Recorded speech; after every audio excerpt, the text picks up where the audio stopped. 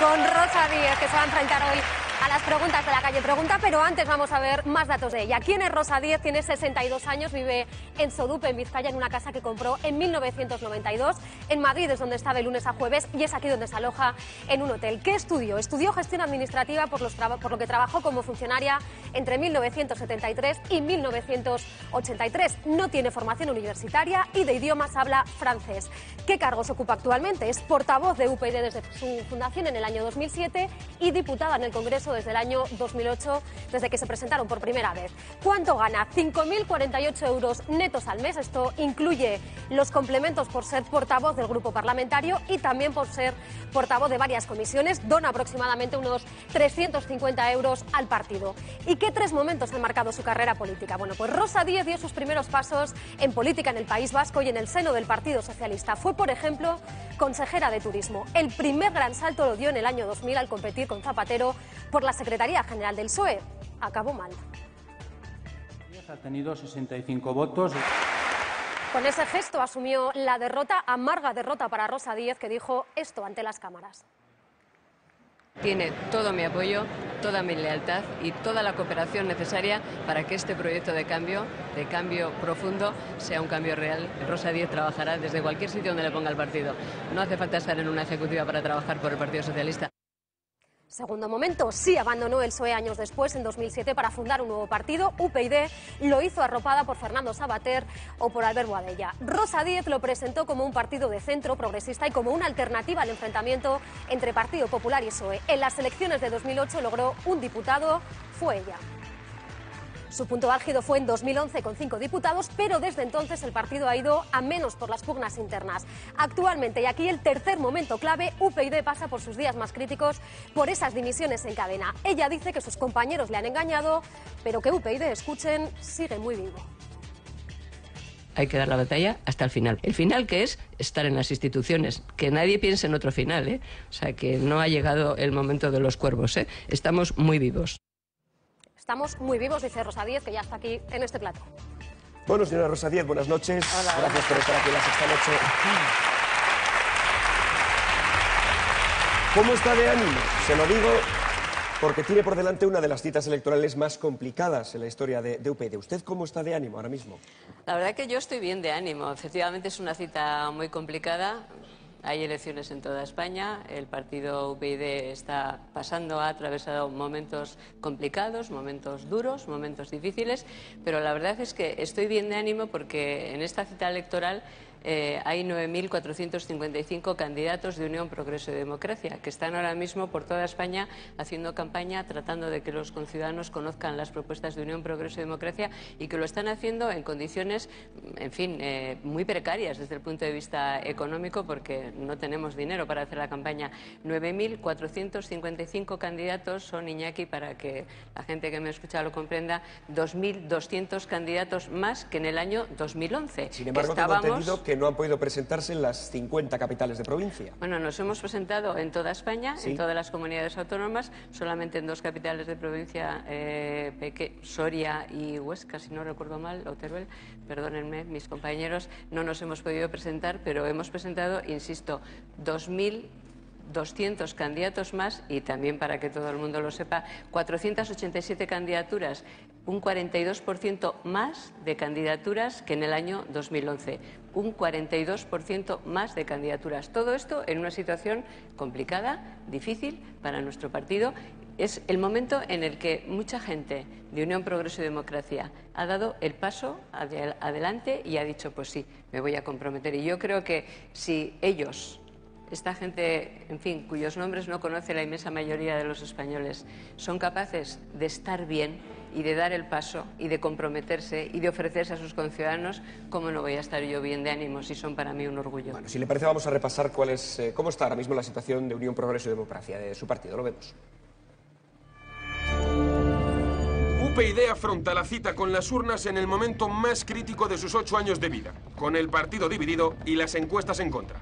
El terremoto comenzaba hace un mes y medio, el día de las elecciones andaluzas del 22 de marzo. UPyD se queda fuera del Parlamento mientras Ciudadanos consigue nueve diputados. En las elecciones, como en la vida y en la política, a veces se gana y a veces se pierde. Unas explicaciones insuficientes para algunos de los dirigentes que exigen a su líder autocrítica. Yo creo que la dirección debe asumir responsabilidades por el resultado de las andaluzas, que es muy malo. 24 horas más tarde, cuatro pesos pesados abandonan la dirección de UPyD. Entre ellos, los diputados Irene Lozano y Álvaro Anchuelo.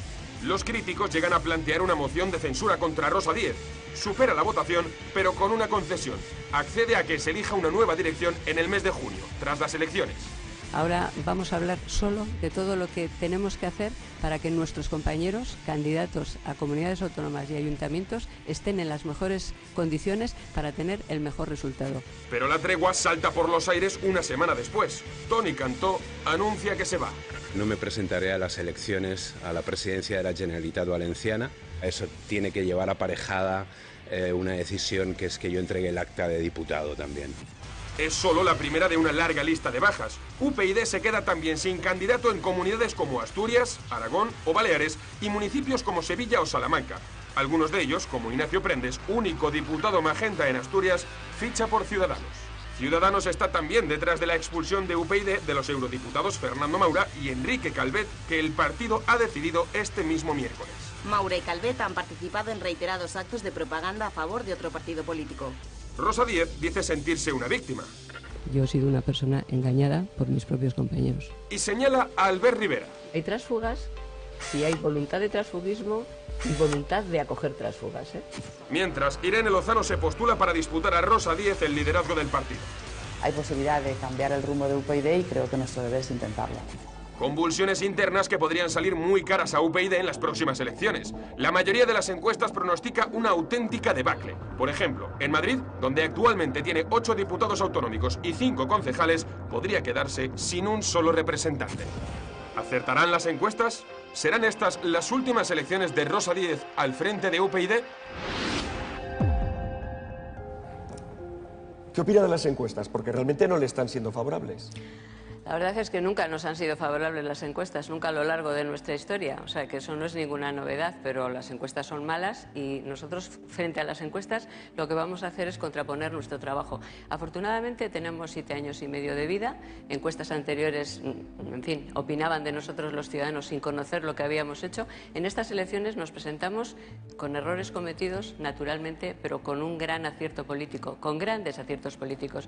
Los ciudadanos de Madrid van a poder juzgar, estoy seguro, segura de que lo van a hacer, a mis compañeros de la Asamblea, de los ayuntamientos, no solo del Ayuntamiento de Madrid, por el trabajo que han hecho, por lo que hemos hecho en estos años. Y como cuando se abren los colegios el día 24 las urnas están vacías, yo tengo mucha confianza en que los ciudadanos que saben el trabajo que hemos hecho nos van a volver a votar porque UPyD dentro de las instituciones garantiza que los corruptos lo pasan bastante peor. El señor Maura, que es uno de los dos eurodiputados que ya no está en su, su, formación, de los cuatro que había en estas últimas elecciones, ha dicho que usted lleva el partido como la líder de una secta, creando enemigos internos para culpabilizarles de todo. Verá, en Unión Progreso y Democracia, eh, desde que nacimos, se han hecho más de 700 procesos de primarias. Eh, somos un partido transparente y democrático. Eh, ni aunque yo quisiera pudiera, podría nombrar a, a, las personas que encabezan las candidaturas, pero el señor Maura y el señor Calvet tienen que cumplir unas normas que son muy importantes. Es que los 4.300 euros que ganan cada mes para gastos generales, o sea, para trabajar, para la estructura de trabajo en el Parlamento Europeo, tienen que responder por ellos y tienen que dar cuentas de esos 4.300 euros. Y como se han negado a dar cuentas de los 4.300 euros, que, insisto, se los embolsan sin rendir cuentas, que es lo que hace hasta el último concejal del último pueblo de Unión, Progreso y Democracia, pues les hemos tenido que expulsar. Entonces, mire, eh, creo que se lo conté la última vez que vine aquí. 4.300 es lo que se embolsa Maura y Calvet sin rendir cuentas a nadie.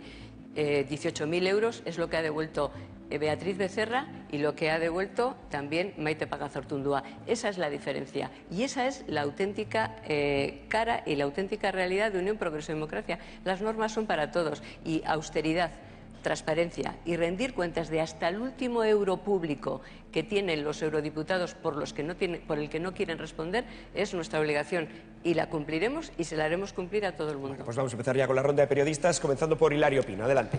Señora Díez, buenas noches. Buenas noches. Antes de preguntarle por su situación interna, me gustaría preguntarle por Podemos. Usted ha llegado a decir que mm, el señor Rivera estaba más o menos contento con lo que estaba sucediendo en UPyD. Perdone, por Usted- Ciudadanos igual querías decir, Hilario. No, dicho no, por por Podemos. Podemos. Por Podemos, perdona. Por Podemos. Continúo. Eh, el señor Rivera ha llegado a decir, eh, perdón, usted ha llegado a decir que el señor Rivera estaría contento por lo que estaba pasando en UPyD. ¿Está usted contenta por lo que está pasando en Podemos?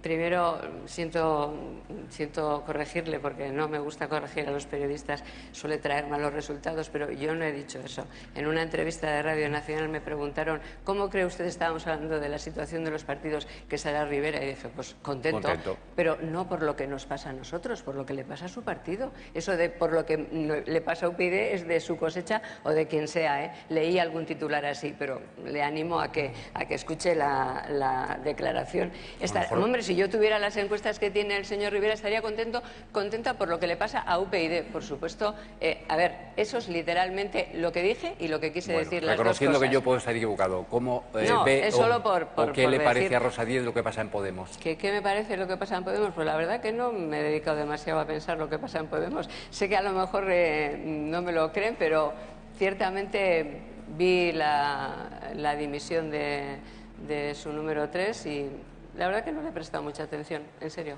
¿Cuántas eh, nuevas afiliaciones ha tenido UPyD y cuántas bajas en los últimos meses, en las últimas semanas? Pues no tengo datos de afiliaciones y de bajas. Comprenderá usted que no, no lo llevo al día, de verdad. No tengo datos ni de afiliaciones ni de bajas.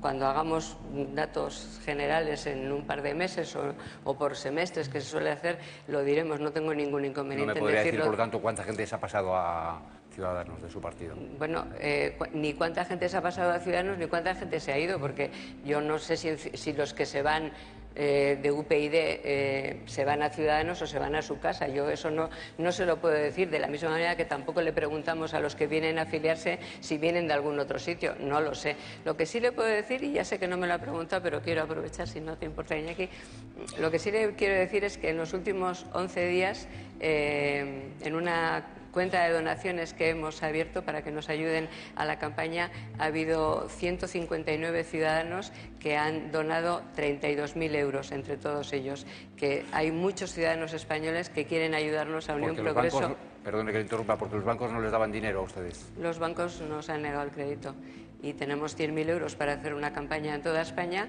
Hemos abierto una cuenta de donaciones, bueno, estaba abierta, pero ahora le hemos hecho más publicidad, por así decir, y la verdad es que ha habido una respuesta extraordinaria, porque son 159 donaciones, es decir, son, son donaciones pequeñitas de ciudadanos que quieren ayudarnos, como ocurrió, por cierto, en las primeras elecciones. En el año 2008 vendimos bonos que De- quieren ayudarnos a que hagamos la campaña. De paso, 32.000 aprovecho, euros. aprovecho para preguntarle, ¿no hay que regular el crowdfunding en este país?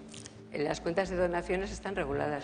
Eh, son cuentas de donaciones eh, según la ley de partidos. Los ciudadanos tienen que ir, el que haga Digo, una más donación. control del que hay. No es un. ¿Cree usted es- que hay suficiente control? En la Sí. cuenta de donaciones, la forma de actuar, aprovecho ya para hacer publicidad por si hay alguien que le interesa, tiene que ir al banco de 5 euros o de 1 euro en adelante, tiene que decir eh, que va a tal cuenta de donaciones, tiene que aparecer su nombre y todos sus datos y se sabe que va a la cuenta de donaciones, queda registrado y el Tribunal de Cuentas lo registra.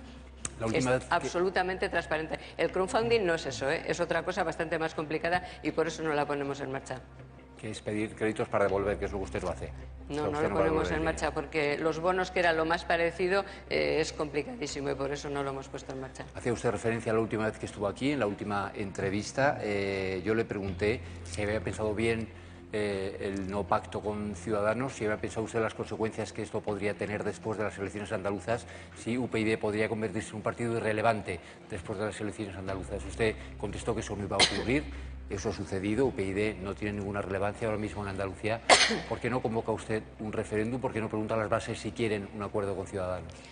A ver, eh, nosotros, perdón, nosotros antes de las elecciones andaluzas tampoco estábamos en el Parlamento de Andalucía. Digo porque a lo mejor queda la idea de que estábamos y ahora nos hemos quedado fuera. No estábamos en el Parlamento de Andalucía. Tampoco y ahora, estaba Ciudadanos. Y ahora, y ahora, pero estábamos hablando de nosotros. Entonces no estábamos y ahora tampoco estamos. Nosotros tomamos la decisión de presentarnos autónomamente a las elecciones. La tomamos después de intentar eh, con Ciudadanos una cosa importante, antes de pasar a la segunda parte de, de cualquier posible negociación, tal y como le expliqué. Quisimos quisimos mm, poner claras las cuentas. En el caso de Ciudadanos, las cuentas eran las relaciones, los acuerdos que tenían con un montón de partidos locales, regionales, de todo tipo. Nosotros queríamos saber eso, mm, en fin, qué significaba y eso a qué les, eh, les obligaba. Se negaron a darnos esa información, ya lo he contado muchas veces, pero estoy encantada de poderlo contar otra vez. y como no, y como, mm, en fin, imagínese que usted y yo vamos a fusionar nuestras empresas, suponiendo que las tuviéramos, y el primer día que nos sentamos, usted se niega o yo me niego a darle mis cuentas. Pues usted se levanta y dice, hombre, si no nos damos las cuentas, ¿cómo vamos a ponernos a hablar de si hacemos eh, delegaciones en un sitio o en otro? Fue imposible. Y no lo ve así la mitad de la, eh, mucha de la gente de su partido que está pidiendo eso mismo, por eso le digo, ¿por qué no hacen ustedes un referéndum y así eh, saldrían pues de dudas? Es que nosotros tuvimos un consejo político en el que aprobamos mantener nuestra autonomía después de las elecciones de Andalucía, pero mm, eso fue un consejo político en el que estaban representados quienes representan a todos los afiliados. Pero acabo de dar un dato mucho más significativo. Si la mayoría de los afiliados de UPyD, afiliados y simpatizantes, no quisieran que nuestro partido se presentara autónomamente a las elecciones, no hubiéramos podido hacer las listas.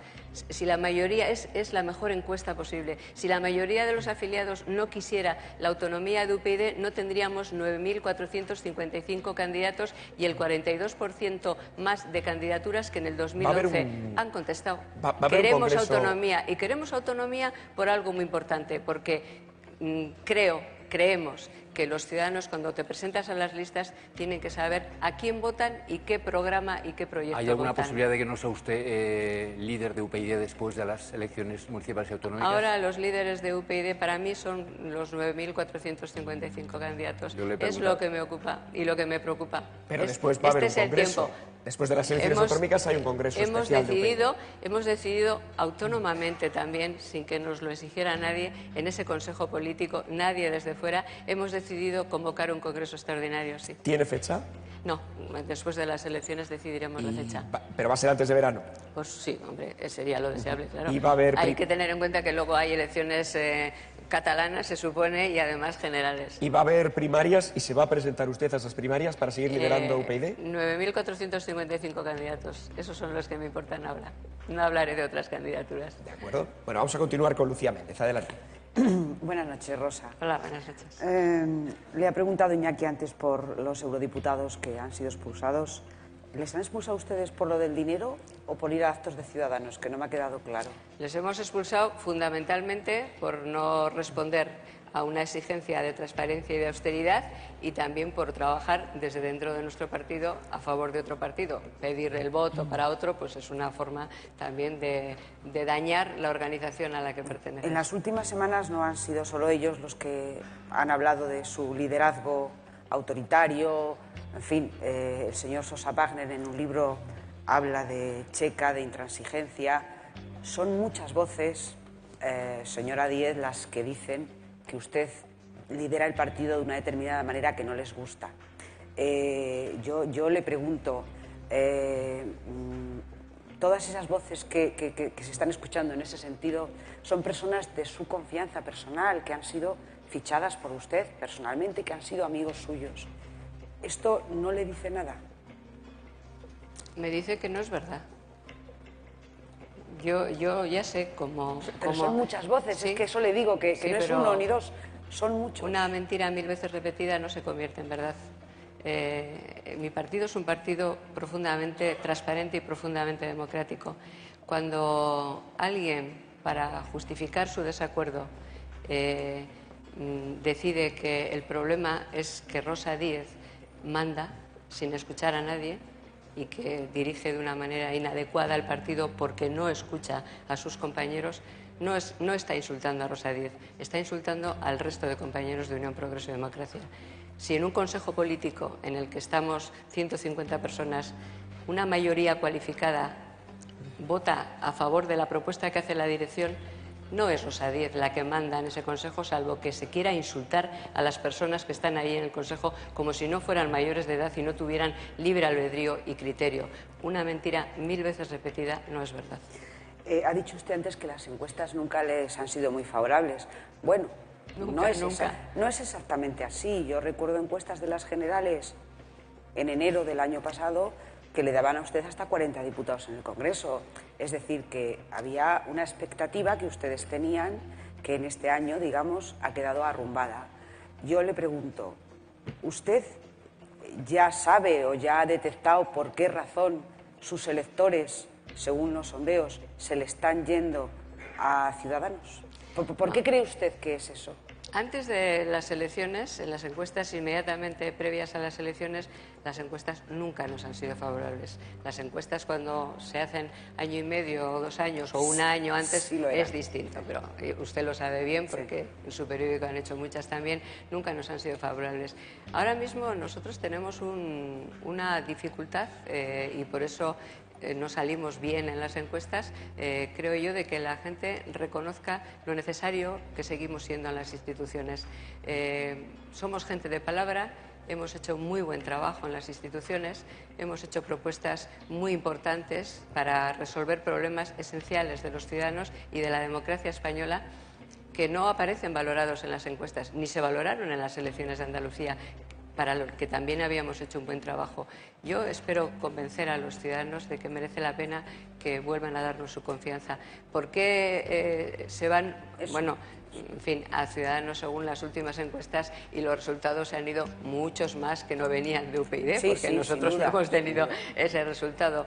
Eh, La, situación política en España está muy volátil, como sabe usted muy bien, como saben todos los que nos están oyendo. Hay partidos nuevos, eh, se ha abierto el mapa político de un bipartidismo que solo tenía para sumar a los nacionalismos o Izquierda Unida. El panorama ha cambiado muchísimo, hay muchas más oportunidades, mucho más donde elegir. Bueno, este, este, es, el, este es el mapa en el que estamos desde el punto de vista O sea político que- y este es el tablero. Y en ese tablero eh, Unión Progreso y Democracia, todos nuestros candidatos, la gente que ya está en las instituciones, la que aspira a entrar, tiene que hacer un ingente trabajo. Tenemos que hacer un ingente trabajo para Una- que los ciudadanos se enteren. Una última pregunta para Lucía. Sí, o sea que, eh, que no sabe usted muy bien por qué. ¿Por qué no reconocen su trabajo? Pues no, no lo no lo, muy sé- bien. no por lo qué. sabe muy bien, ¿no? ¿Por qué prefieren a un, a un líder nuevo como Albert Rivera?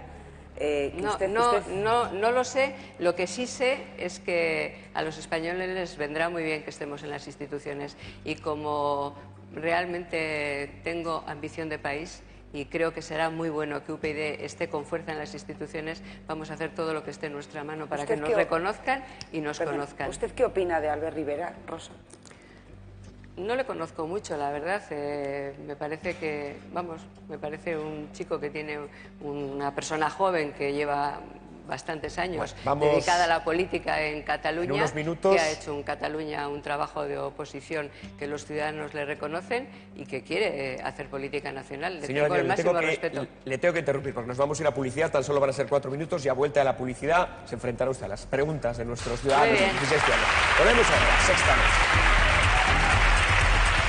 Yo tengo la reflexión de que, de que estoy cerrando una etapa. Esta es la mejor manera de decirte adiós. Todos los días me pregunto qué demonios hago. Hemos hecho lo que hemos podido. Juan Carlos Monedero ha presentado su dimisión. El mundo entero para mí, ahora sí que sí. Un intelectual que necesita volar.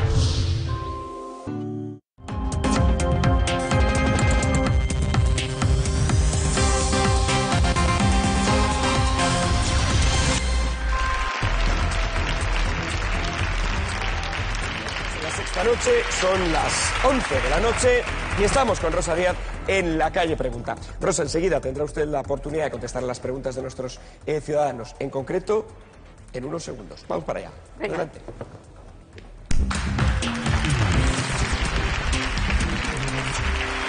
Bueno, antes de empezar, déjame recordarles una cosa. El próximo jueves, en la sexta, no se pierdan el gran estreno de Refugiados, la nueva serie de A- la- de A3 Media. Es eh, la primera serie española coproducida junto a la BBC. La historia de intriga y suspense en la que iremos descubriendo por qué 3 millones de personas del futuro han viajado al presente. ¿Quiénes son? ¿De qué huyen? ¿Qué hacen aquí? Una gran serie innovadora una muy buena historia, muy potente, de gran calidad que no se pueden perder. De los creadores de series como Velvet y Bajo Sospecha. Refugiados se estrena el jueves, 10 y media de la noche, en La Sexta. Y también simultáneamente en Antena 3, Neox y Nova. Dicho lo cual, nos vamos ya con la calle pregunta. Andrea, adelante. Vamos a empezar ya porque todos estos ciudadanos están deseando preguntarle a Rosa Díez. La primera que va a venir hasta esta tril es Sonia González, de Bilbao, empresaria experta en gestión y documentación, tiene 45 años y cuando quieras le puedes preguntar. Buenas noches, Rosa. Eh, yo quería hablar contigo sobre política fiscal, ¿m? concretamente sobre el IVA. He, estado leyendo vuestro programa de reforma de la fiscalidad y en la parte del IVA habláis de, de vamos, eh, un IVA eh, reducido para, para la cultura, un IVA reducido también para el material escolar, un IVA súper reducido para prensa y libros, también lo están leyendo. Lo que he deducido del resto, vamos, del programa, porque no se especifica nada más, es que mantendréis un 21% de IVA normal, eso es lo que yo entiendo al, al leer el programa. ¿Mm? Entonces, mi pregunta es, ¿es realmente sostenible para la ciudadanía, para las, fam- para las economías domésticas, para las pymes, autónomos, Voy a comercios? solicitaros que las preguntas sean Sí, lo más breves posible. Perdón. Eh, un, un IVA del 21%. Y no solo eso, sino que la factura de la luz o del gas, que son servicios básicos y fundamentales, estamos soportando un 21% de IVA. Luego que hay pobreza energética, claro. Sí, pues eh, la verdad es que nosotros mantenemos la estructura del IVA actual, que tiene tres tramos, el, el alto del 21, el, el de 10, el IVA reducido y el, hiper, el superreducido, que es el 4. Lo que nos parece importantísimo es mantener el IVA superreducido, que es el que, en fin, el que el de la cesta de la compra, el de todos los ciudadanos, el del pan, la leche, las medicinas.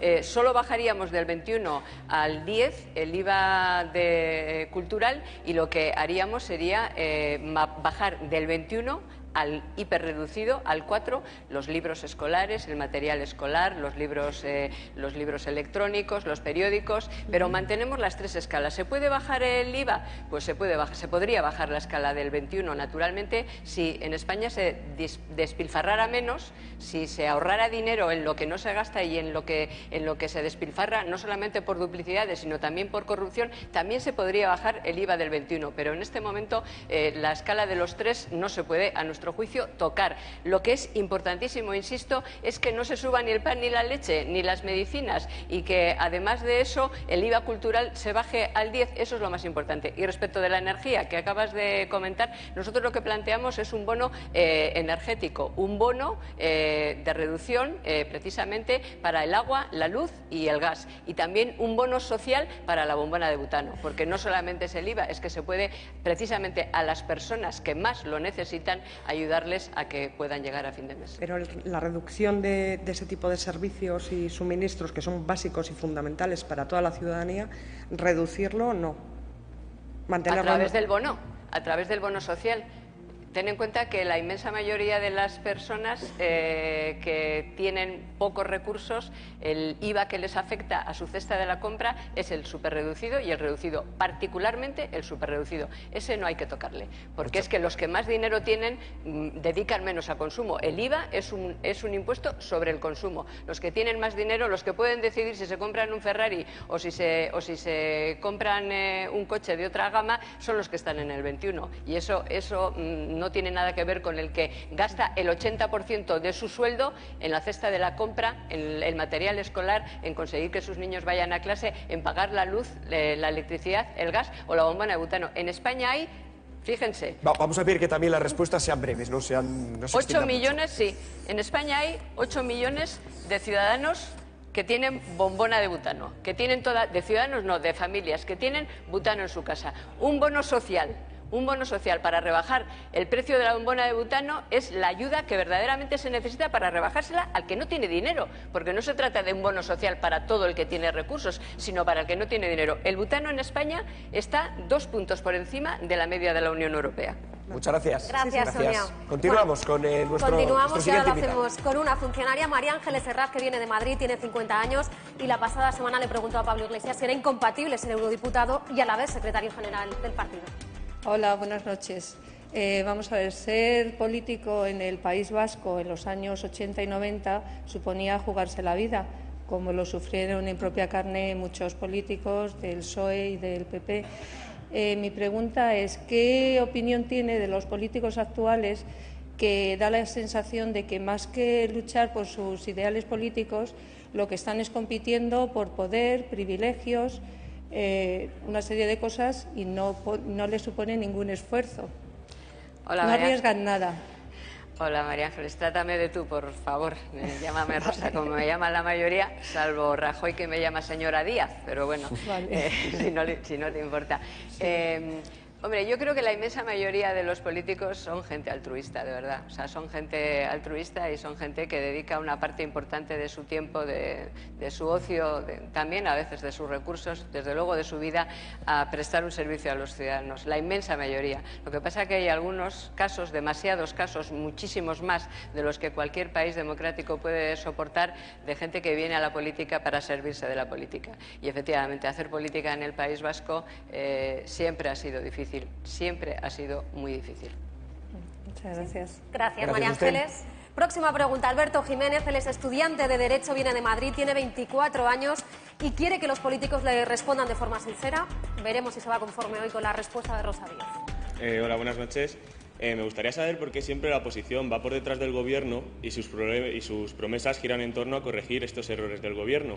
Y sobre todo me gustaría saber a qué problemas adelantaría UPyD de llegar a gobernar. Bueno, la oposición eh, no va siempre por detrás del gobierno, por lo menos UPyD no va siempre por detrás del gobierno. Diría que va por delante en muchas cosas. Nosotros, UPyD, fuimos el primer partido político que presentó en el año 2011 la ley de segunda oportunidad en el Congreso de los Diputados. El gobierno no la había presentado. Fuimos el primer partido que presentó una reforma laboral por la vía del contrato único indefinido. El gobierno no la había presentado. Fuimos el primer partido que planteó la supresión de los aforamientos, por ejemplo, hay 10.000 aforados en España. El gobierno no la había presentado. El primero que quiso despolitizar las cajas de ahorros y cambiar la ley de cajas. El gobierno no la había presentado.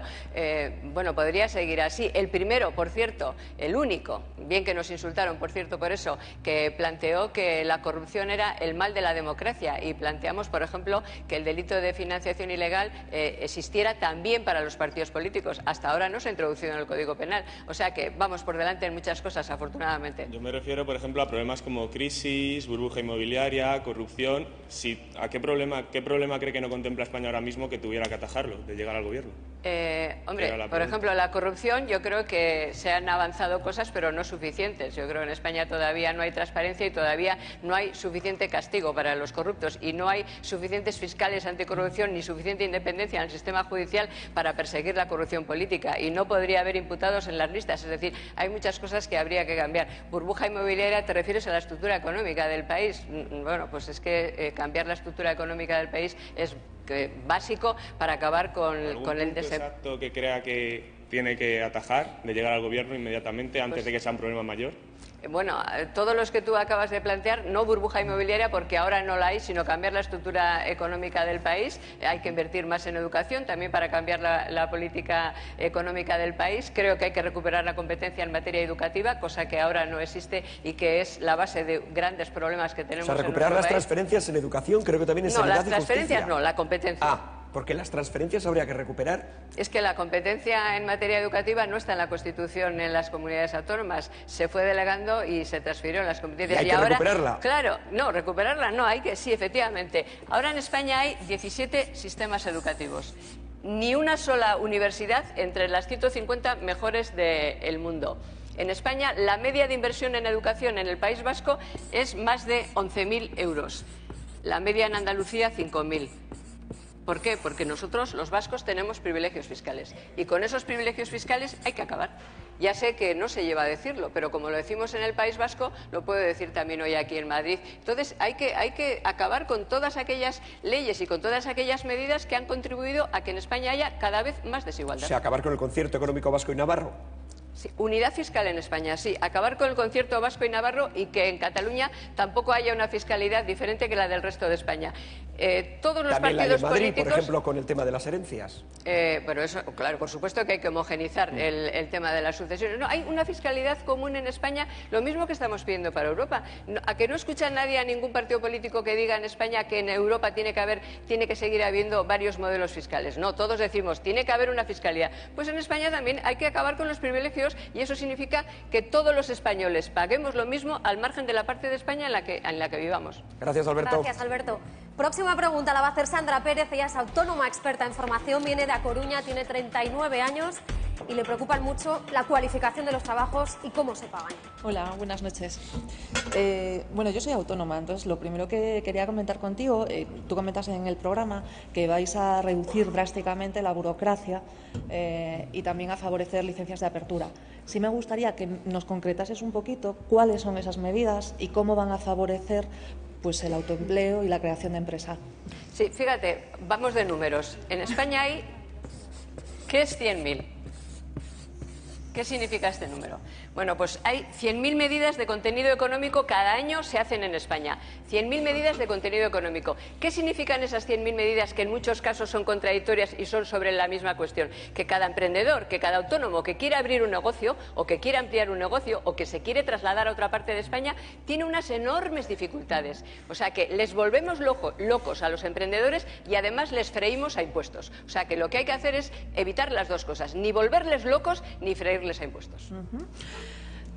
Bueno, me hubiese gustado que fueses un poquito más concreta, yo te lo agradezco, ¿eh? pero, pero vamos, eso, alguna, alguna cosa en concreto. De esas 100.000, ¿cuál? ¿Alguna eliminamos? No, es que no puede haber, es que no puede haber medidas económicas contradictorias. Eh, tiene que haber unidad de mercado es que tiene que poderse mover los ciudadanos españoles, ya sea para trabajar, ya sea para crear puestos de trabajo, ya sea para crear empresas, tienen que poderse mover por el territorio nacional sin medidas que eviten que esa movilidad sea productiva. Y además hay que ayudarles también con las cotizaciones sociales. Proponemos, por ejemplo, una cotización, cotizaciones sociales rebajadas para todos los nuevos autónomos al margen de la edad del autónomo, porque ahora hay eh, rebajas según la edad. Bueno, proponemos ya nuestro programa, lo venimos proponiendo y lo venimos defendiendo en el Congreso de los Diputados. No lo decimos ahora porque estemos en campaña. Hemos presentado esas iniciativas en el Congreso. Naturalmente no nos las han aprobado hasta el momento, pero hay que insistir. Solo una duda más. Eh, todos los, los, partidos estáis peleando por, bueno, por poner, activar otra vez el empleo. Hay una cosa de la que todavía no hemos hablado, no ha salido.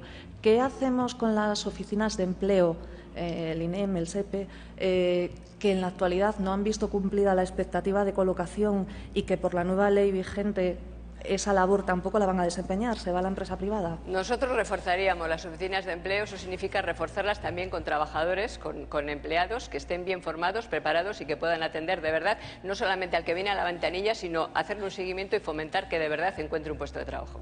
Muchas gracias. Gracias, Sandra.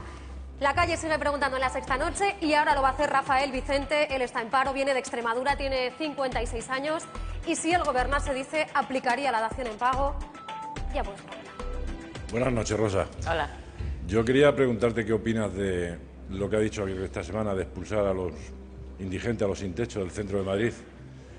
¿Crees que eso puede ser para ocultar al resto del mundo la pobreza que hay en Madrid? Hombre, eso me parece una indecencia y está mal, es una palabra a lo mejor demasiado fuerte, pero me parece que es algo absolutamente indecente. Lo que hay que hacer es invertir para que no haya mm, personas que tienen que dormir en la calle, que tienen que dormir, eh, que no tienen techo, pero hay que invertir desde que, desde que se empieza, eh, desde que esas personas están en una situación de exclusión y hay que invertir particularmente en los niños, que son en España uno de cada tres niños está en riesgo de exclusión. Fíjate, hablando de números, porque los números son los que reflejan una, una realidad. Eh, dicen UNICEF y Caritas y, todo, y Save the Children que un plan para erradicar la pobreza infantil costaría en España 9.400 millones de euros. Eh, ¿Sabes lo que, lo que se despilfarra en sobrecostes en las licitaciones de obra pública? 48.000 millones de euros al año. 48.000 millones de euros es lo que se despilfarra, es corrupción. 9.400 millones eh, para precisamente hacer un plan integral contra la pobreza infantil. Lo mismo contra la pobreza infantil que contra la pobreza, contra todas esas personas que no tienen techo.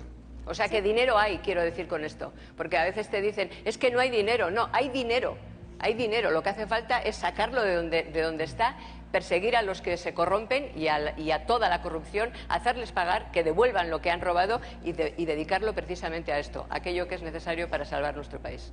Bien, muchas gracias. Gracias, Rafael. Bueno, pues nuestro siguiente protagonista se estrena en esta sección, le voy a acompañar hasta la tril, él es Andrés García. Viene de Burgos, tiene 30 años, está en paro y es miembro de la Asociación Síndrome de Down de Burgos, ha trabajado en el Ayuntamiento de Burgos y como les digo ahora está en paro y tiene muchas ganas de preguntar a Rosa Díez. Cuando quieras, Andrés. Hola Rosa, Hola. Buena, buena, buenas noches. Yo, yo me llamo Andrés. Yo, yo he trabajado en el ayuntamiento y en la Universidad de Burgos, pero ahora estoy en el paro, como muchos de mis, de mis amigos. Y te pregunto, Rosa, ¿qué querías, qué harías para que puedan trabajar todos mis compañeros con síndrome de? Bueno, hola Andrés, buenas noches. Bueno, no solamente tus compañeros con síndrome de Down, sino la cantidad, los cientos de miles de chavales como tú, igual que tú, con capacidad para trabajar y para, y para devolver a la sociedad lo que la sociedad le ha aportado. Eh, lo que hay que cambiar es la estructura económica de nuestro país. Decíamos antes, ¿no? Bueno, el paro, el empleo no se crea por real decreto. No, se puede hacer un real decreto y por ahí se crea empleo. Lo que hay que hacer es cambiar las condiciones para que se pueda crear empleo. Las condiciones económicas, las condiciones de la estructura económica de nuestro país, eh, porque si no es imposible generar empleo. ¿Quién crea empleo? En, los países, en España, fundamentalmente las empresas privadas, pero también la Administración. Eh, la Administración tiene menos, menos eh, posibilidades, pero tiene, por ejemplo, nosotros planteamos que hay hasta 500.000 plazas que se podrían crear en la Administración precisamente para suplir todas aquellas plazas que se han ido quedando vacantes en los últimos años, que no se han repuesto. Pero eso no es aumentar mucho la Administración. Ya, pero no estoy hablando... Estoy, no, no, no podemos contratar cuatro millones de de funcionarios, pero podemos contratar bomberos, necesitamos contratar bomberos, necesitamos contratar profesores, necesitamos contratar policías y guardias civiles, necesitamos contratar médicos, necesitamos contratar enfermeras, necesitamos contratar personal de plazas esenciales para prestar servicios al conjunto de los ciudadanos que no se han ido reponiendo en los últimos años. Y luego hay que facilitar a los, a los emprendedores y a los empresarios que creen empleo, porque si facilitamos que creen empleo, habrá empleo de verdad y de calidad en toda España. No sé si, si, lo sabemos. Ah, Andrés, no, no, Andrés, por supuesto, sí lo sabemos, pero eh, por cada 100 euros que eh, gasta un empresario en contratar a un trabajador, gasta 80 en cotizaciones de la seguridad social y en impuestos. Entonces, si bajamos los impuestos y rebajamos las cotizaciones de la seguridad social, nosotros planteamos una rebaja de dos puntos en las cotizaciones de la seguridad social, podemos generar empleo, podemos generar las condiciones para generar empleo. Habrá quien diga, pero hace falta pagar impuestos, efectivamente. España necesita. Si, si, bajamos los impuestos, ¿cómo aumentamos el número de funcionarios? ¿Cómo pagamos todo esto? Claro, pero, pero ah, mm, seguimos con las, con las cifras. Sí. Eh, espera, si quiere, tenemos más. Sí. ¿eh? Adelante. Seguimos, con, seguimos con las cifras. Las diputaciones nos cuestan al año 6.000 millones de euros. Si fusionamos ayuntamientos, nos ahorramos al año 15.000 millones de euros y prestamos mejor servicio a los ciudadanos. Hemos dicho antes, la corrupción, solo en sobrecostes, 48.000 millones de euros. ¿Cuánto, ¿Cuál es el sueldo mínimo interprofesional en España? 650 euros aproximadamente. ¿Verdad? ¿Vale? 648 creo que es. ¿Cuál es el sueldo de una persona que trabaja, que trabaja, no, que está en un consejo consultivo? En Madrid, por ejemplo, Gallardón, sin ir más lejos, 8.000 euros. O sea, si eliminamos todo lo superfluo y toda la corrupción, nos salen cifras astronómicas, más de 100.000 millones de euros para precisamente para poder bajar los impuestos, para poder bajar las cotizaciones sociales, para poder contratar en todos esos servicios que son imprescindibles para los ciudadanos, para que tú, Andrés, tengas un puesto de trabajo. Cuestión. Si eliminamos las diputaciones con esas eh, provincias, por ejemplo, que tienen mucha población dispersa, estoy pensando en el caso de Ávila, les dejamos sin muchos servicios. Si eliminamos para ellos no, ¿por eh, figuras como las y, Pero, perdona, ¿y no están aquí las comunidades autónomas? Es que las diputaciones es un diseño de las Cortes de Cádiz, de la Constitución de hace 200 años. Es que tenemos comunidades autónomas y tenemos ayuntamientos y tenemos diputaciones. Y tenemos ayuntamientos que se fusionan para no tener luego eh, mancomunidades, eh, empresas públicas que se crean para contratar a los excedentes. No, tenemos una estructura de país que no hay quien la soporte que es incomparable con todas las estructuras de toda, de toda Europa. Tenemos que achicar esa estructura de lo superfluo tener dinero para invertirlo en lo que es fundamental, en lo que significa crear riqueza y empleo y así evitar también no solo que Andrés esté en paro, como muchos de sus compañeros y de sus amigos, sino la fuga de talentos, que de eso espero poder hablar en algún otro momento. Seguro que sí. Muchas gracias, Gracias, Andrés. Andrés. Muchas gracias, Rosa. Gracias, Gracias, Andrés. Lo ha hecho muy bien, Andrés. Bueno, vamos a continuar con más preguntas en directo. 11 y 20 de la noche. Adelante, Andrea. Ha preguntado muy bien Andrés. Seguimos. Ahora es el turno de Carlos García, él es empresario. Tenía un estudio de arquitectura que cerró por la crisis. Viene de Barcelona y tiene 50 años. Y el turno de palabra es tuyo. Buenas noches, Rosa. Hola, buenas noches. Ah, mire, en este país eh, gran parte de los, de los políticos que ejercen su actividad eh, vienen de la administración pública. Y alguna estadística ah, apunta que el 48% de los cargos electos no han, hecho, no han tenido ninguna actividad que no sea la política. Am, claro, ¿cómo esperan conseguir la confianza de los ciudadanos eh, para medidas como todas las que está diciendo esta noche, que son largas y, múltiples, si la mitad de los políticos de este país nunca han trabajado en la empresa privada, eh, sus sueldos no están ligados a la productividad, am, no, han estado nunca en el paro y que además si incumplen sus objetivos, que en su caso serían los, o en el caso de los políticos son los programas electorales, nadie les va a echar a la calle como pasa en cualquier empresa privada. Sí, bueno, la verdad es que mm, yo creo, yo no, yo no conozco esa estadística, pero sí, efectivamente hay demasiados políticos eh, que no han pasado nunca por la empresa privada por otra actividad. ¿Usted lo ha hecho?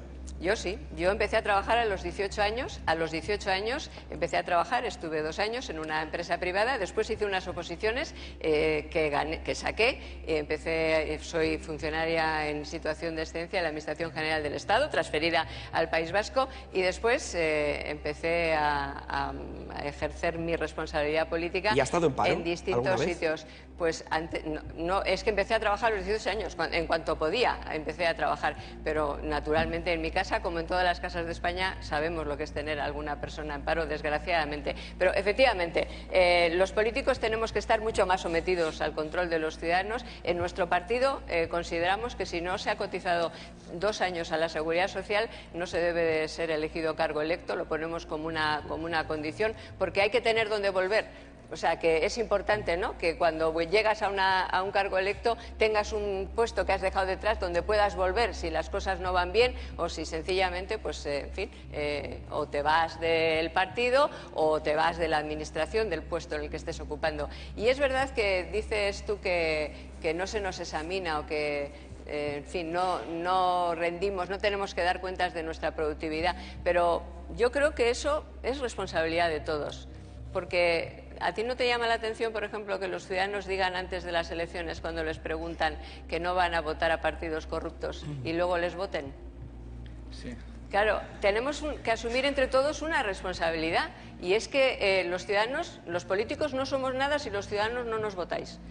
Y como normalmente en España, hagas lo que hagas, te, vo- te votan otra vez si estás entre los partidos que tienen poder. Otros, aunque lo hagamos muy bien, lo mismo no nos votan. Pero realmente estamos con la conciencia muy tranquila porque hemos hecho muy bien nuestra función pública. Pero en España es que hay mucha impunidad en ese sentido. ¿Tú te imaginas en Alemania, en Francia, en cualquier país de nuestro entorno, eh, alguien que, yo qué sé, que roba como roban aquí o que no rinde cuentas o que le pillan, en fin, como están pillando eh, cada dos por tres, desgraciadamente, a personas con responsabilidad pública, ¿qué, qué hacen los, los diri- los dirigentes de los partidos en los que están? Les echan inmediatamente. ¿Por qué? Porque eh, los dirigentes de los partidos en Alemania son más serios, más que más rigurosos ¿eh? que nosotros. No, porque saben, sí, termino. ¿Por qué les echan? Porque saben que los ciudadanos no les volverían a votar jamás. Así que es verdad, cogednos de la solapa y si nos comportamos mal desde el punto de vista de la honestidad, no nos volváis a votar jamás. Luego, ¿cómo hacemos la tarea política? Si lo hacemos mejor o peor, si las propuestas que hacemos os gustan más o menos, todo eso es discutible. Pero si Rosa. no somos honestos, a casa. Tengo que pedir más concisión. Gracias. Sí, Eh, Carlos, ¿alguna cuestión más? Tomo nota, Muchas gracias. Gracias, Carlos. Yo voy a pedir aquí también preguntas cortas. La próxima la va a hacer Guadalupe Rubio, ama de casa, viene de Valencia, tiene 47 años y dice que la pregunta de hoy la va a hacer pensando en esas mujeres que tienen en casa a gente a la que tienen que cuidar. Cuando quieras. Buenas noches, señora Rosa. Muchas mujeres han, dedicado su vida al cuidado de sus mayores, familiares enfermos, eh, hijos y maridos. y en muchos casos de separación se encuentran con un vacío en la ley que les produce un miedo al mañana y al futuro, a poder sobrevivir. Eh, ¿Qué propone su partido para estas mujeres que no llegan a los requisitos necesarios para recibir ninguna prestación hasta que no lleguen a la edad de jubilación y entonces cobren la no contributiva? Hombre, yo creo que mujeres o hombres que tienen una formación y ganas de trabajar fuera de casa tendrían que tener la oportunidad de hacerlo y no estar castigados, permíteme la expresión, a cuidar de sus mayores o de sus niños porque no hay una red social para cuidar de los mayores o de los niños. La clave es esa. La clave es que no te, que, no te tengas que quedar en casa, seas mujer o seas hombre, para cuidar a tus mayores o cuidar a tus niños eh, porque no hay una red social para atenderlos, porque no hay comedores, porque no hay centros de tercera edad centros de día, sino eh, si te quedas es porque te quieres quedar. Y, eh, en fin, esto pasa en otros países europeos. Hay una red social que permite que hombres y mujeres, si quieren trabajar, eh, aunque, aunque tengan niños o tengan eh, personas eh, mayores en casa, puedan trabajar los dos. Hay una forma de compatibilizar también el trabajo, de tener horarios más flexibles, hay una forma también de tener horarios más, mm, más humanos, que en España no se da, porque aquí los horarios son una cosa absolutamente incompatible, pero yo creo que lo fundamental es una red social y no una pensión o un salario que a veces también se plantea para las mujeres que se queden en casa. Yo creo que lo, que es, lo que hay que hacer es fomentar que puedan ejercer su profesión, desarrollarse fuera de casa, seas hombre o mujer, al margen de, la condición en la que se encuentren las personas mayores que conviven con ella o los niños, porque si no se quedan condenados, ellos o ellas, a quedarse en su casa. Muchas gracias. Gracias, gracias Guadalupe. La próxima pregunta viene desde Madrid, la hace María José García. Ella es jubilada, era traductora y actualmente canta jazz. Cuando quieras te puedes preguntar a Rosalía. Buenas noches, Rosa. Hola, buenas noches. Vamos a ver, todos sabemos que hay muchos jubilados, yo soy jubilada, hay muchos jubilados que han tenido, tienen que mantener a sus hijos y a sus nietos con sus escasas pensiones, porque no les queda otra. Mientras vemos, oímos que hay políticos corruptos que se lo llevan calentito y les importa un bledo estos jubilados, que yo pienso que tendrían que tener una paguita extra o una ayuda para soportar bien todo lo que les ha caído por culpa de, esta política de, de hoy día. ¿Usted, si estuviese en el gobierno, haría algo? ¿Ayudaría a estos jubilados?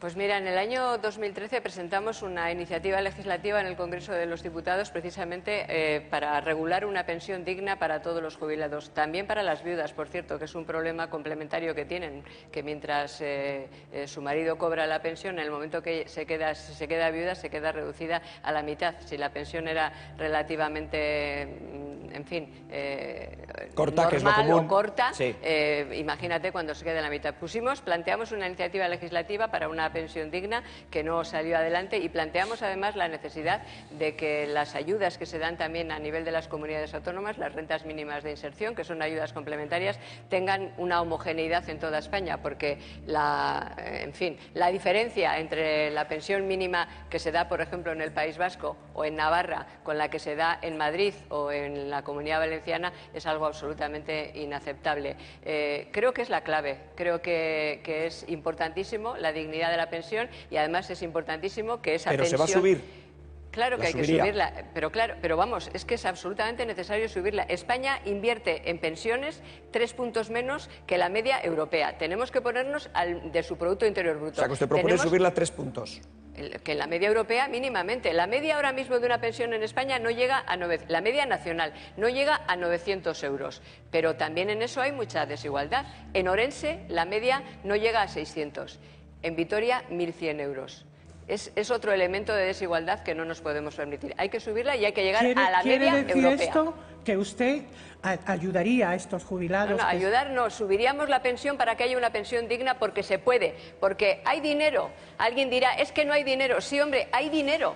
Hay dinero en otros sitios. Además de esto, hay 70.000 euros, 70.000 millones de euros al año 70.000 millones de euros al año que se van por fraude fiscal. Fraude fiscal. 70.000 millones. O sea, hay dinero. Lo que pasa es que el dinero hay que destinarlo a lo que hay Pero que acabar con el fraude fiscal es algo que no ha conseguido ningún gobierno. ¿Usted está seguro que su gobierno lo conseguiría? Porque no se han empeñado. Ah.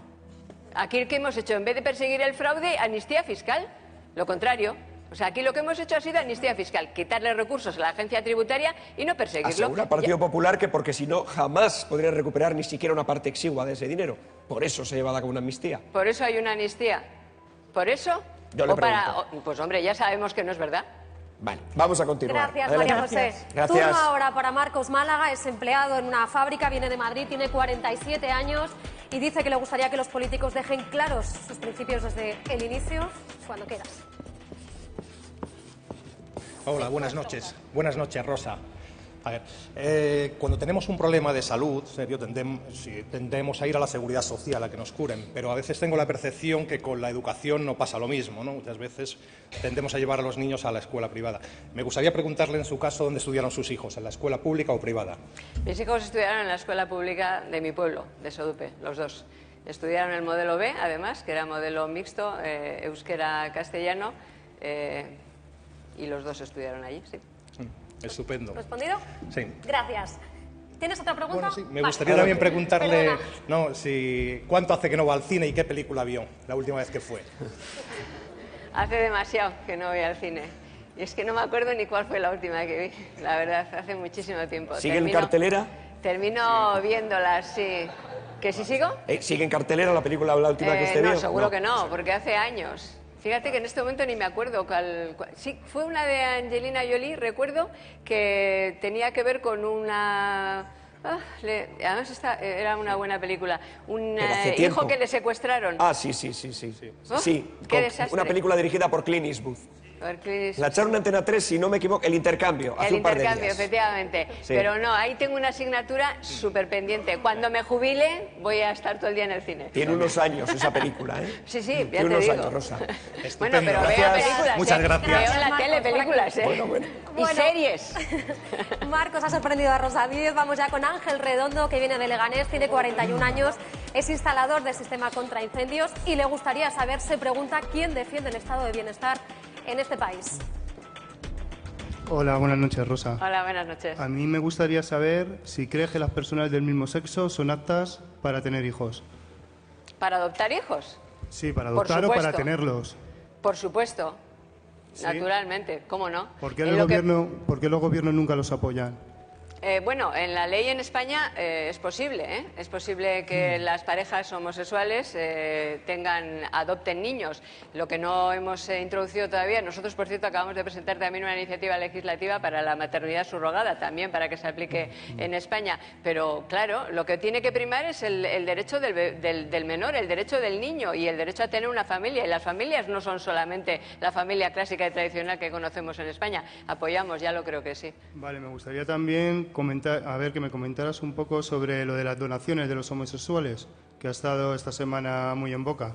Bueno, ha estado muy en boca porque es que parece que hay como un concurso de barbaridades, ¿no? Y entonces hay algunos que realmente todavía no se han enterado eh, que estamos hablando de derechos fundamentales, de igualdad de derechos y que estamos hablando de seres humanos, humanos cuya condición eh, sexual o cuya eh, decisión al respecto no tiene que motivar en modo alguno ningún tipo de discriminación. Me parece un escándalo. Sabes bien que, y si no lo sabes lo digo ahora, nuestras eurodiputadas en el Parlamento Europeo han levantado la bandera precisamente ahí en esa materia, concretamente Beatriz Becerra, y por supuesto es absolutamente denunciable que también por esa vía se trate de marginar a las personas eh, por su orientación sexual, algo que es no solamente inconstitucional, sino que es algo perverso y absolutamente inaceptable. Gracias. Gracias. Gracias.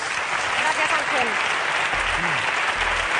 Turno, turno ahora para... Turno ahora para Rosalía Romero, ella es médico, viene de Málaga, tiene 58 años y es la cuarta semana que pregunta desde este atril. ¿Qué tal, Rosa? Hola. Quería preguntarle desde, desde el respeto, ¿qué le diría a los ciudadanos que hoy piensan que su partido no se unió con el de Albert Rivera porque su ego o su soberbia le impedían aceptar que tal vez podía- podría pasar a un segundo plano si este líder tan carismático y popular como es Albert Rivera eh, y usted se hubiesen unido? Le diría la verdad. La verdad es que no nos unimos porque no encontramos eh, transparencia en su partido. No nos quisieron dar una información que era para nosotros imprescindible para podernos presentar juntos en unas elecciones, para no engañar a los ciudadanos, que nos parece que es un elemento básico. Eh, no nos quisieron dar una información importante, como por ejemplo a qué les condicionaba, a qué les llevaba todos esos acuerdos que tienen con partidos locales, regionales, en fin, que no nos parece la mejor manera de extender un partido respetándola, por supuesto, se negaron a darnos una información que para nosotros es relevante. Creemos que cuando uno se presenta a las elecciones a pedir el voto a los ciudadanos, tiene que poder decir la verdad y el ciudadano tiene que poderse fiar de lo que tú le propones y de, y de quién eres y de que vas a cumplir ese compromiso. Y eso fue lo que impidió que, nos uniéramos. Eh, esa es la pura verdad y eso es lo que diría. Sí, quería preguntarle también que ya que eh, en este país cada vez el número de ciudadanos que piensa que hay demasiado gobierno, 17 gobiernos dilapidando el dinero público en televisiones autónomas, en empresas públicas para colocar a los suyos. Eh, ¿Por qué no pasa de, presentarse a la elección autonómica y plantea su batalla directamente a nivel central con un partido que proponga a los ciudadanos eh, un gobierno central igual para todos, con los mismos derechos en educación, en sanidad y incluso proponiendo un referéndum para que los españoles digan hoy día si quieren seguir gobernados por 17 gobiernos o por uno solo. Bueno, la verdad es que es la estructura del Estado la que hay que cambiar. Si tú renuncias a estar en las instituciones, no puedes también trabajar desde dentro para cambiar esa estructura del Estado y para eh, resolver problemas que tienen los ciudadanos. Mira, por ejemplo, nosotros hemos estado en la Asamblea de Madrid, estamos en la Asamblea de Madrid, eh, hablando de lo que hemos hecho en la Asamblea de Madrid o en el Ayuntamiento. Si hubiéramos renunciado a estar en el Ayuntamiento en la Asamblea, siguiendo con los números, 243.000 58. Son dos ayuntamientos. Dice, bueno, hay que estar solo en el gobierno de la nación. No, hay que estar en todos los sitios, porque desde todos los sitios se hacen cosas importantes para los ciudadanos. 243.000 euros es el dinero que han devuelto los vocales vecinos de Madrid de su sueldo al final del año para comedores escolares en Madrid porque al inicio, vocales vecinos de Unión, Progreso y Democracia, ¿eh? porque al inicio de la legislatura quisimos que se les bajara el sueldo. Como no se les bajó, lo fueron ahorrando y al final del año 243.000 euros de su sueldo del sueldo de ellos, que es muy bajito, de vocales vecinos, algunos, por cierto, están en paro, retenido para comedores escolares. 58 son los niños que se han quedado sin comedor escolar en Valencia, por una decisión de su alcaldesa, porque las familias de las que forman parte esos niños no pagaban el IBI o la luz o el gas porque tenían deudas. Fíjate si es importante estar en todos los sitios, estar en todas las instituciones. Nosotros queremos adelgazar las estructuras del Estado, queremos terminar con las duplicidades, pero mientras exista esa estructura, UPyD tiene que estar vigilante y dentro. ¿Alguna cuestión más? Gracias. Gracias. Gracias, Rosalía. Turno ahora de Carlos Pérez, estudiante, viene de Tomelloso, de Ciudad Real, tiene 22 años y su sueño es trabajar como compositor en Estados Unidos porque aquí lo ve imposible. Buenas noches, Rosa. Muchas gracias por venir. Mi pregunta va sobre el botellón. ¿Sobre? El botellón. Eh, ¿no, ¿No consideras abusivo y desproporcionado la multa de 600 euros que tienen que pagar los jóvenes que son pillados viviendo en la calle? Que además seguramente la tengan que pagar sus padres porque ellos no tienen dinero. Cuando, por ejemplo, la multa por conducir bebido es de 500 euros. Pues sí, estoy de acuerdo contigo. Es que aquí se, se matan moscas a cañonazos. En vez de pensar por qué están los jóvenes ahí en la calle, por qué no tienen otros sitios donde poder estar, en vez de pensar en eso, pues aquí todo es por la vía de ZAS. Hombre, la multa por sacar comida del contenedor de basura es de 750 euros. Sí, pues eso. Es que es el afán, el afán recaudatorio, que es como enfermizo, sin saber a quién le cae. En vez de quitar de todo por aquí, ¿me entiendes? De todo, de todo esto que hay por aquí, de, todo, de todos los que se lo han llevado crudo, en vez de quitar por ahí, pues es a ver a quién pillamos y le metemos la multa. Pues ¿Una cuestión más? Eh, no era todo eso. Gracias. Gracias. Carlos. El próximo que va a venir hasta esta tril es José Luis Lugo, él es consultor de marketing mexicano, pero afincado en Barcelona desde hace un año y tiene 42 años. Hola, buenas noches, mucho gusto. Eh, faltando poco más de seis meses para las elecciones generales, ¿qué considera que UPyD debería de mejorar para poder eh, repuntar en la carrera hacia el gobierno español? Bueno, tú que eres de marketing, a lo mejor luego nos quedamos y me cuentas lo que crees que tenemos que hacer. Bueno, la verdad, eh, bromas aparte, muchas gracias por la pregunta. Hombre, yo creo que nosotros somos personas, en nuestro partido, somos personas de hechos más que de palabras y creo que hemos hecho, que estamos haciendo un gran trabajo para aquello para lo que nacimos, para regenerar la democracia, para que haya más transparencia, para que la gente viva mejor, para que haya más dignidad una educación de más calidad, en fin, lo que hacemos, que además está probado y está testado, incluso ahora que nos quieren dar por muertos medios de comunicación que nunca escribieron sobre nosotros, alaban las cosas tan buenísimas que habíamos hecho.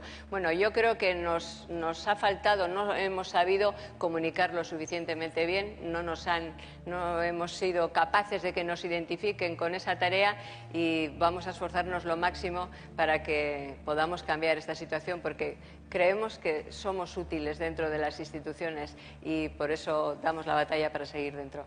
Perfecto. Muchas gracias. Bueno, la siguiente pregunta viene por Skype. Se llama Rosa también, mm, nos llama desde Londres, creo que ya la tenemos. Hola Rosa, buenas noches. Hola, buenas noches. Hola Rosa, bienvenida a la sexta noche. Te está escuchando Rosa. Adelante. Hola, buenas noches. Em, a mí me gustaría preguntarle qué opina usted sobre sobre el hecho de que tantos españoles hayamos tenido que irnos fuera a buscarnos la vida por falta de oportunidades laborales. Si no, si no le preocupa esta situación, ¿y qué propone su partido para hacer atractiva una hipotética vuelta a España? Gracias, Rosa. Gracias, Rosa. Pues sí, me preocupa, nos preocupa mucho porque eso es lo que he llamado antes la fuga de cerebros.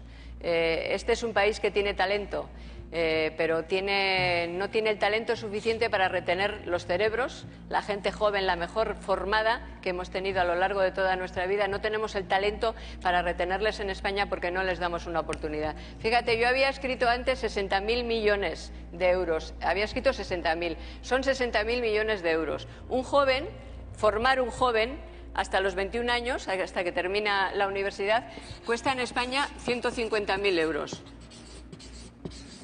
150.000 euros. En los últimos cuatro años se han ido 390.000 españoles formados. 390.000. Son 60.000 millones de euros.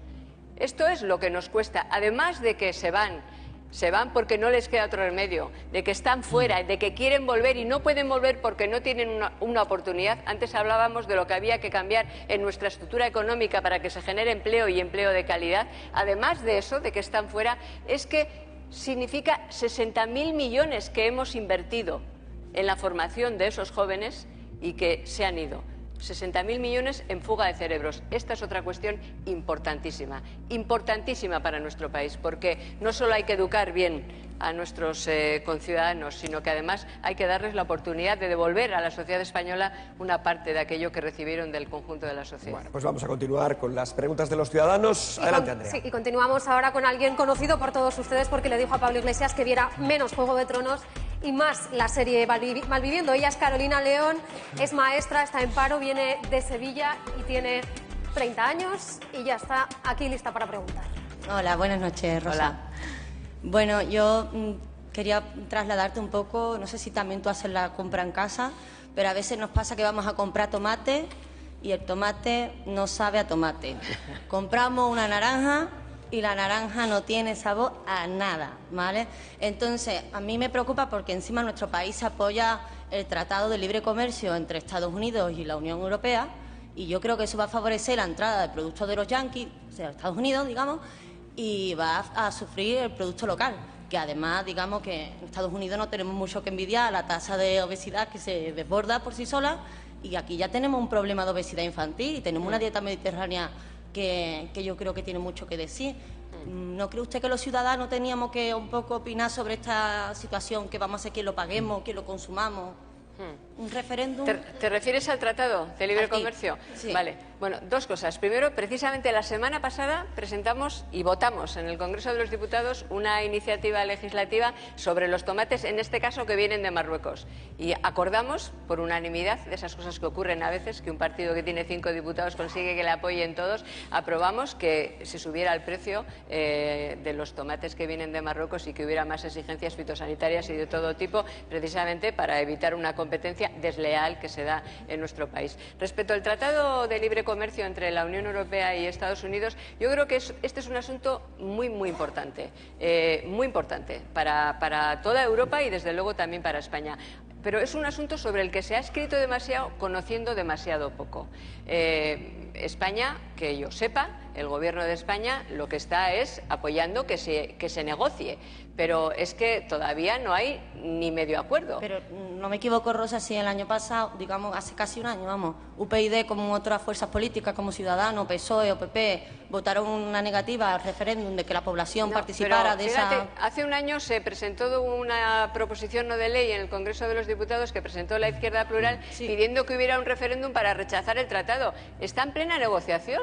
O sea, no, no se puede rechazar un tratado que no se ha escrito, ni rechazar ni aprobar. Hay una negociación entre, entre los eh, distintos gobiernos de la Unión Europea y el gobierno de Estados Unidos. Una negociación demasiado opaca, lo hemos denunciado. Mm. No conocemos exactamente qué se está negociando. Nuestro partido, ¿qué es lo que ha dicho? Que tenemos que conocer exactamente qué se está negociando antes de darle el ok, el beneplácito o antes de votar en contra votar en referéndum un tratado ahora que no está escrito es, eh, es algo absolutamente imposible. Lo que no Mm, estamos dispuestos, y yo creo que en eso eh, todos los españoles van a estar en la misma línea, y espero que los europeos, es a que sea un tratado que perjudique eh, a Europa desde el punto de vista económico, desde el punto de vista comercial y también que rebaje los estándares de exigencia democrática, porque es que son las dos cosas. ¿eh? O sea, las dos cosas podrían ir. es un tratado de libre comercio, pero el libre comercio, como todo el mundo sabe, suele incorporar muchas cosas más. Hay que estar muy vigilantes. Yo sí que os recomiendo eso a la gente que está preocupada,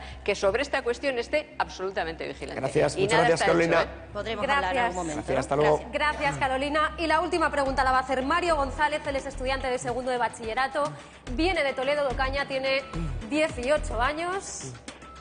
Y Mario, un segundo. Mario, Mario, vamos a hacer una cosa. Eh, nos vamos a la publicidad cinco minutos y a la vuelta lo primero que vamos a hacer es escuchar tu pregunta, ¿de acuerdo? Hasta ahora mismo. Aquí vas Debatiremos esto y conoceremos la última pregunta de Mario para Rosa 10 en unos minutos. Cinco minutos. Aquí en la sexta noche.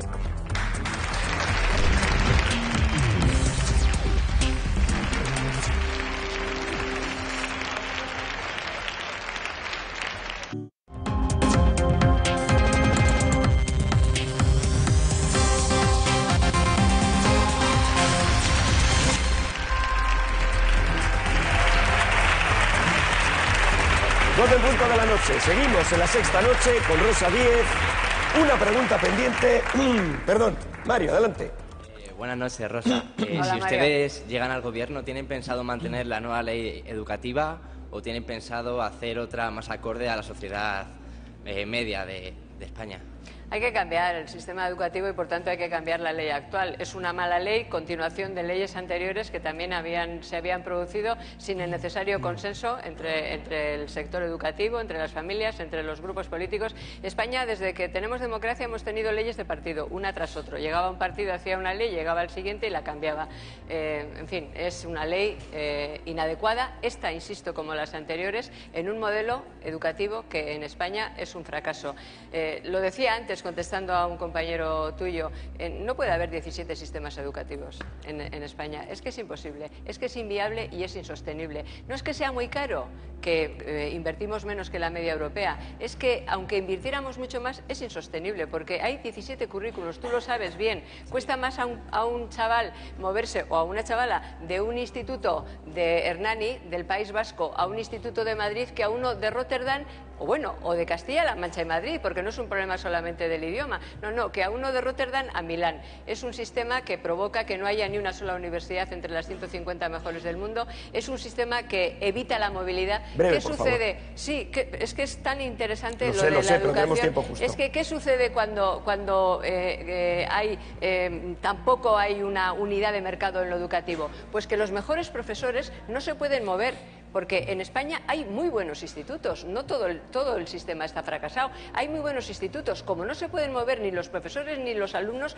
no se fomenta al mejor eh, profesor, no se, no se fomenta al mejor alumno, no se acredita la mejor calidad del sistema educativo, con lo cual perdemos todo. Cambiaríamos la ley eh, competencia del Estado la educación y educación de verdad y para todos y de calidad. Muchas gracias, es importante, déjame que diga una Tiene que ser muy breve, Sí, por favor, Rosa. breve. Mira, Sí. lo que es que la educación es la base, es la joya de la corona. Mira, lo que un lo- el Producto Interior Bruto nuestro ahora dice lo que somos en este momento. Lo que invertimos en educación dice lo que, lo que queremos que sea nuestro país en el futuro. Esa es la clave. Bueno, hay una campaña que está llevando a cabo la Sexta, se llama Constantes y Vitales, está en la página web constantesyvitales.com y lo que quiere es impulsar la creación de un organismo autónomo que gestione el dinero que se invierte en investigación, pues por ejemplo para acabar con las ronqueras y afonías de primavera y otras cuestiones más graves. ¿Qué te parece a ti esto? Está en la ley de la ciencia. Es, es una cosa que está en la ley de la ciencia, Sí. en una institución, un organismo que no se ha creado. Está en la Carta de la Ciencia, que UPyD ha suscrito, lo piden los científicos. Es de sentido común, hay que hacerlo. Es un instrumento absolutamente necesario. Estás a favor, por lo tanto, de esta campaña. Estamos a favor de la campaña porque estamos a favor de la Carta de la Ciencia y porque estuvimos a favor de que eso se introdujera en la ley. Hay que hacerlo, así que seguid con la campaña. Así es, 70.000 firmas tenemos ya, constantesyvitales.com. Rosa Díez, ha sido un placer, como También siempre, para mí. nosotros. Gracias. Vamos a continuar en directo con el programa.